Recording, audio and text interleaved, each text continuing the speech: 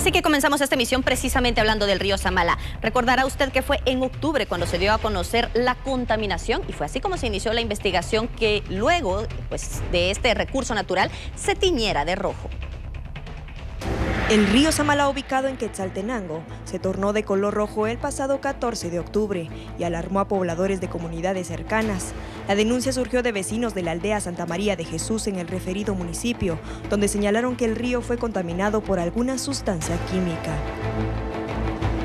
El río Samala tiene una longitud de 145 kilómetros, en la que vive una población de aproximadamente 400.000 habitantes. El Ministerio de Ambientes y Recursos Naturales inició una investigación para determinar qué lo contaminó. Luego de una semana, el ministro Sidney Samuels confirmó que las responsables de la contaminación con tinte rojo del río Samalá son cinco textileras, empresas que están bajo investigación. Además, el funcionario resaltó que presentarían una denuncia penal en contra de los propietarios y representantes de dichas compañías. El Ministerio de Ambiente está a la espera de los resultados químicos para deducir responsabilidades respecto a la contaminación del río Samalá. La cartera de ambiente espera el resultado químico para establecer si además del tinte que produjo este efecto en el río, existen otros que podrían continuar contaminándolo. Que hay una empresa familiar que en efecto utilizó tinte rojo el día y los días previos en que se manchó ese río. O sea, tenemos ya la empresa que no tiene nombre, es una empresa familiar, sin embargo, es una empresa que, donde están manejando pues eh, eh, maquinaria eh, bastante, bastante fuerte.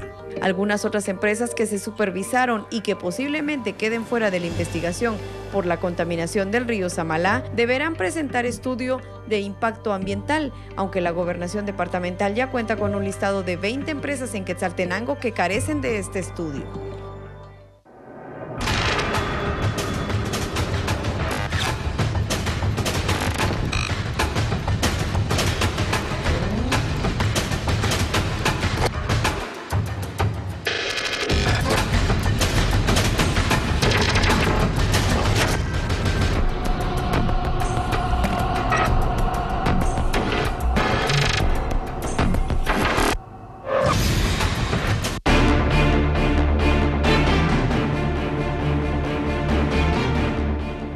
La colocación de biobardas en el río Motagua sirve para detener la basura que llega hasta el afluente y el Ministerio de Ambiente informó que no es precisamente una responsabilidad de todas las comunas que estén establecidas en la cuenca.